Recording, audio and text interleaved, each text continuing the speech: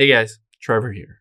And in this video, I'm going to show you how to check your incognito history in Google Chrome. It's pretty quick and easy, so let's jump right in. Now I'm on my iPhone. You can do the same steps if you're on an Android or a computer.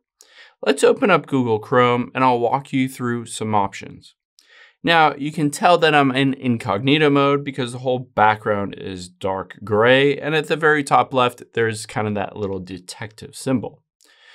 If I tap on the little square at the very bottom right with the two, I can tap on it and it will show me other tabs that are open. So this is one way to be able to see that history.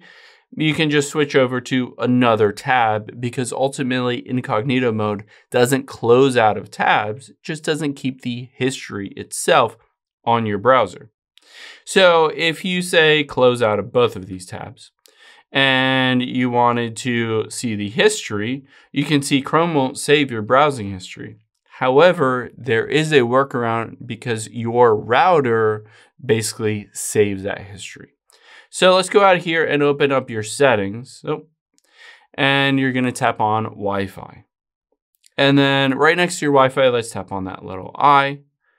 And we're gonna scroll down and copy where it says router, that IP address.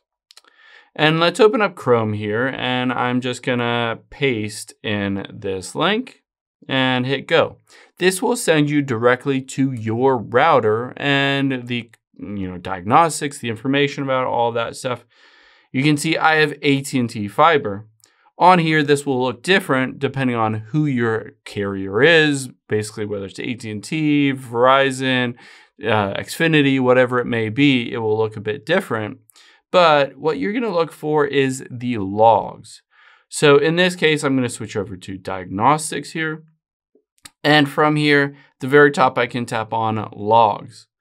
And this will show me the IP address of every single website that I visited.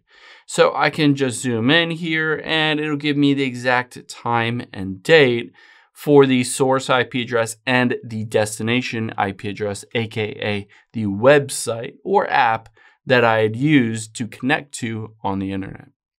I hope this helps. If it did, please consider subscribing down below. It really helps me out. And I'll catch you on the next one.